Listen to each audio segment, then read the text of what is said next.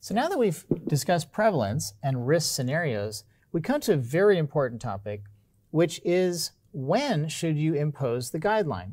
Obviously, when the, the epidemic is uh, raging at a very high rate, is feels out of control, it's spreading, we want to impose the guideline that we've discussed, which limits the indoor reproductive number for each space within some tolerance. And that would, for example, give us some number n1 from the safety guideline, R in less than epsilon, which is going to be smaller than the normal occupancy of that room for a given time and all the other factors that we've been discussing.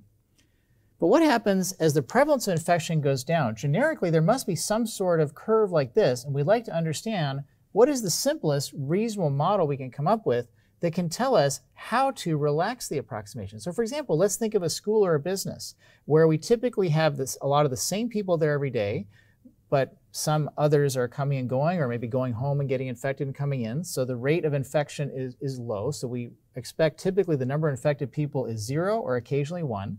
And as the prevalence goes down, then you know we start to see uh, you know that the situation is getting safer and safer. So at a certain point, P1, where we start to say, you know what, we can actually increase the occupancy of the space with everything else held fixed while still wearing masks.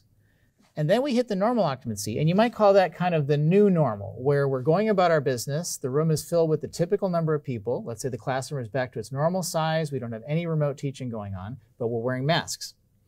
Or taking other factor, uh, factors into account, such as higher ventilation rates, let's say, open windows.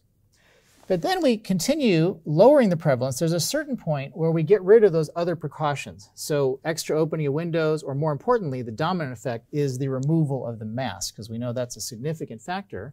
And then you might call that back to the real normal, actually, not the new normal, where we are back to full occupancy and really not taking any extra precautions. That's going to happen at a rather low prevalence, but we hope that that time will eventually come, and hopefully not so far in the future. And I mentioned here a very important point we've not talked about yet in this class, but we should keep in the back of our minds, is when I talk about occupancy, I'm really talking about the number of susceptible people. We just saw that on the last couple boards. But the number of susceptible people are really only those that are not immune to the disease. For example, by vaccination. So as, the vac- as more and more people become vaccinated, then this occupancy number might, for example, let's say as a typical occupancy be 25 people in a class, as more and more people are vaccinated, the number that we plug in this formula here might actually be lower eh, when we adapt, uh, just make decisions because there are fewer and fewer susceptible people that are left. So that's another very important factor to keep in mind. Of course, also vaccination has the indirect effect of lowering the prevalence that is seen in the population as we start to stamp out the epidemic. So we also have that effect. So I won't talk about that any further now, but come back to this calculation uh, based on uh, the risk scenario, the second one that I talked about last time, where we take into account prevalence. So let's look at the three different cases here. So the first one is where we have restricted occupancy.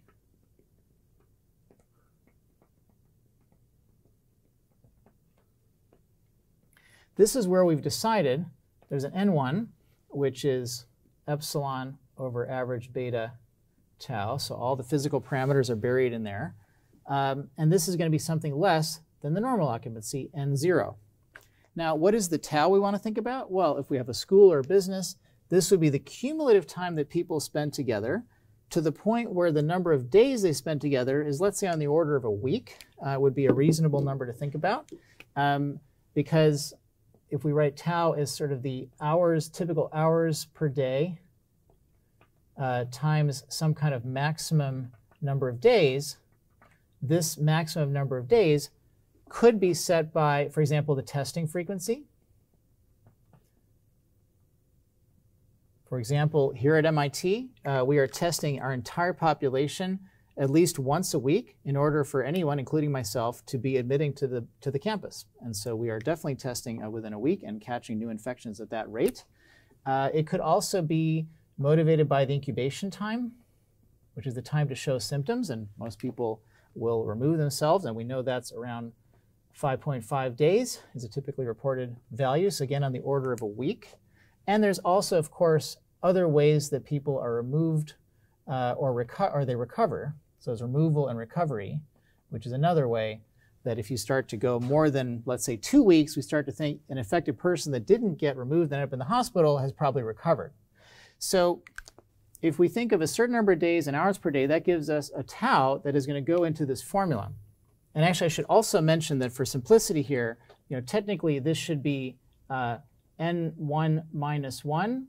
And I can either include that or not when I do this calculation, but I'm generally thinking of n1, which is going to be you know, bigger than 1. So think of like an occupancy of 10 people in a classroom or something might be a limit uh, that we would be interested uh, in considering. But certainly we can put the, the, the 1 in there if we want to. So now let's ask ourselves, how would we start to reopen the space once we've decided on a sort of safe occupancy uh, during the greatest level of restrictions? So that would then lead us into a phase of relaxing restrictions.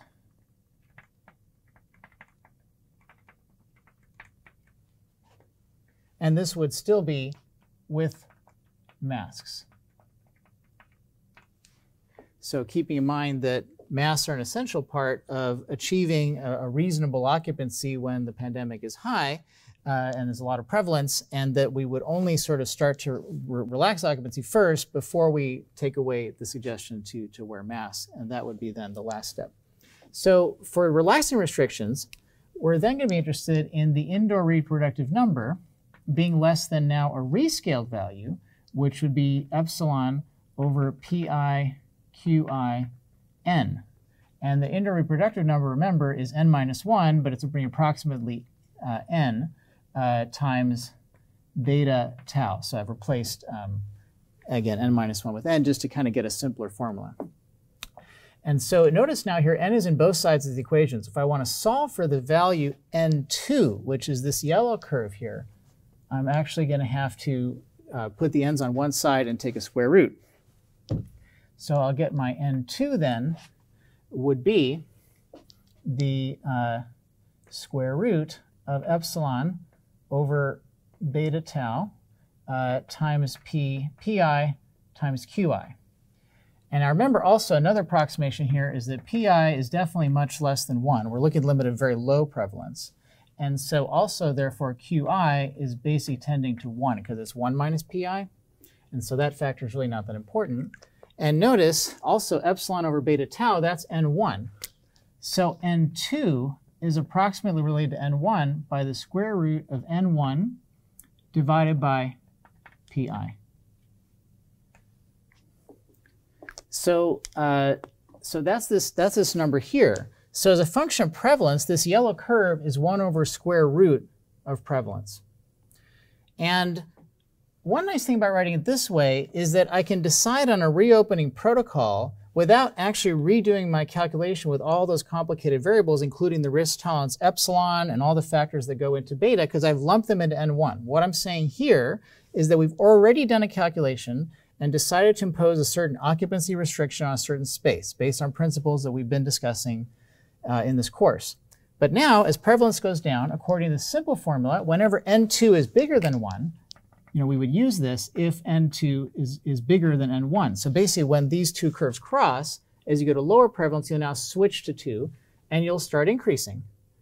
And you will do that until you get to n0. So we'll do this. This is the relaxing restrictions, and then we'll stop, uh, and, and then we'll, we'll, we'll uh, yeah, so basically we'll go, we'll go, n2 can, when n2 is bigger than we allow this, um, until uh, n2 equals n1 and that's this, this, this time here, P, P2. So basically, uh, we start imposing restrictions at P1.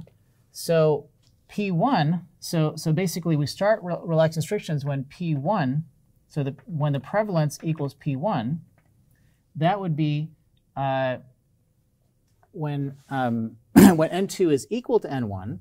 And so that would be when uh, P, P, P1 is 1 over n1.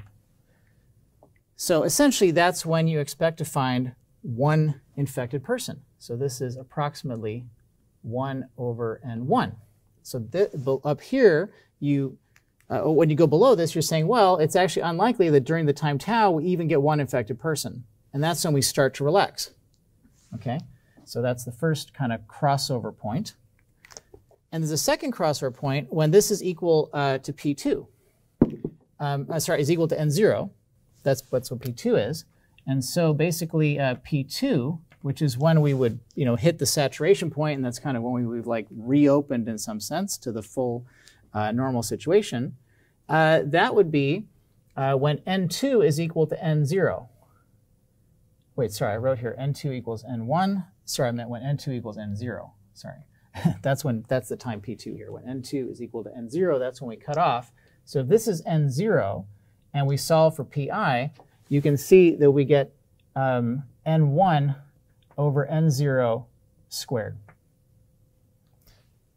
So that is the place where I then switch, and now I'm going to cap the occupancy at n0. So maybe to, to summarize here, what I would say is that the occupancy should be less than or equal to uh, n1 for uh, pi greater than p1.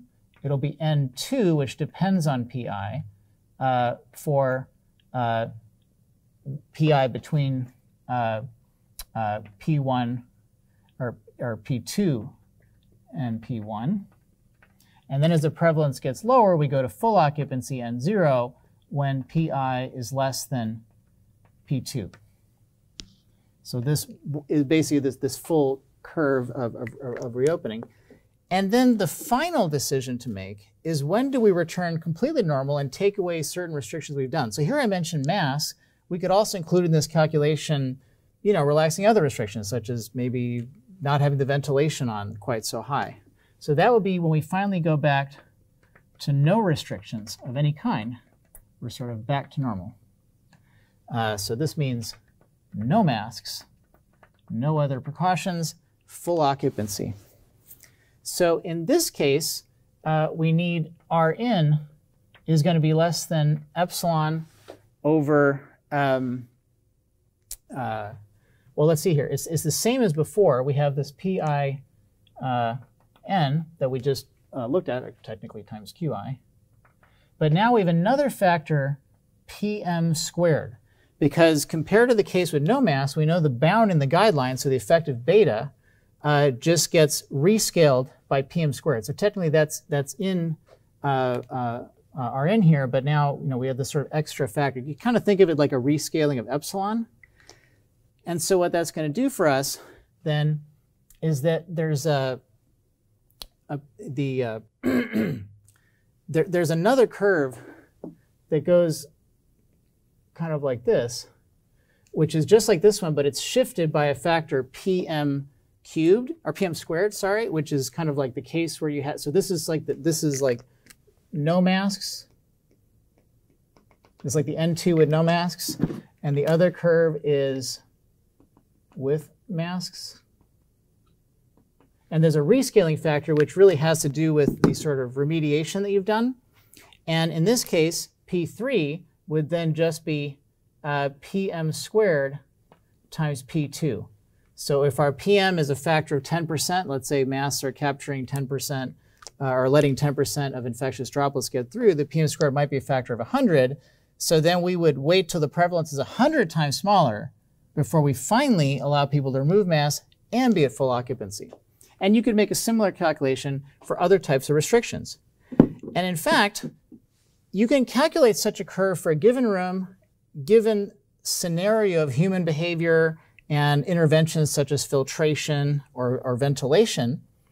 And what the theory allows you to do is to, of course, recalculate N1, and then you can recalculate N2 as well. And so you could say, well, what if actually I don't like this curve? I would like to try to reopen my school sooner. Okay, how would I do that? Well, I know that if I make various interventions, I can raise the pink curve. So I can end up somewhere here, let's just say. Um, this might be uh, with uh, uh, safety interventions. Actually, one such intervention, by the way, is masks themselves, because if I follow this curve all the way down here, there's some curve down here which is no masks, which is the safety guideline with no masks. And if I turn on masks, I go up okay? But when I make that intervention, also P2, notice, scales like, like uh, also like N1, and so that's actually moving in this direction. And so I've essentially moved this yellow curve, and so I'm, I'm now going to say, well, you know, with a different set of, uh, of interventions, I can make the room safer. And what that does, it gives me more people in the room, but it also means that I can that, that I change sort of when I make the decision to reopen. In particular, I can kind of get myself to full occupancy at a higher prevalence because the room is actually now made safer. So uh, uh, I noted, but on the other hand, this this this switch here was at one over n1, so kind of this this part kind of shrinks a little bit as this ultimately kind of goes up to full full occupancy.